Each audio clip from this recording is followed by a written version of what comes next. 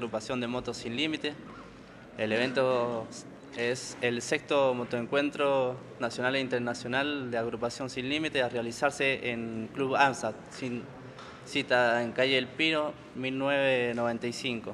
Eh, el mismo tiene un costo de 50 pesos la entrada para solamente hombres y mujeres, niños y tercera edad, una entrada gratuita este, también invitamos al público local al día sábado, si kilómetro cero, 19 horas, vamos a hacer este, una exposición de las motos, las cuales no tienen cilindrada, puede ser un ciclomotor hasta una moto de alta cilindrada.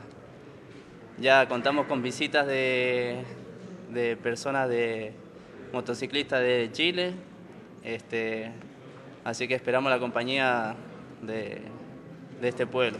No, no, no, realizamos campeonatos ni de velocidad, nada, nada, de riesgo, solamente exposición, hay bandas, sonido, este, y también cabe destacar que en, que en ello este, vamos a realizar eh, con la entrada,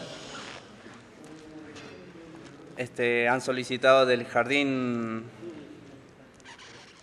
el jardín centro, disculpe, Centro de Salud 361 del Escorial, a los cuales le vamos a realizar una donación con lo que percibamos de la entrada, con elementos de limpieza, nebulizadores y varios elementos que, necesitan y son de necesidad en ellos.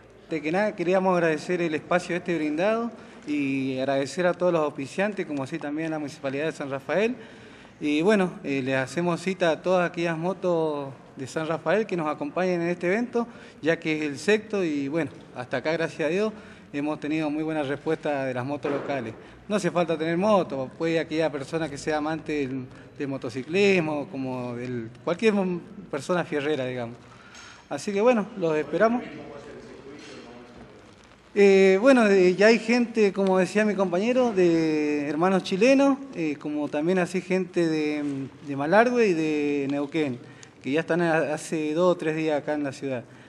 De, a partir de mañana empieza la recepción de motos de toda parte del país y el día viernes en la noche, tarde-noche, hay unas bandas que es todo el mismo predio. El día sábado, a partir del mediodía, empiezan las actividades de recreación y competencia, eh, digamos, pero en el mismo predio, que va todo referido al buen manejo y al buen uso del motociclismo.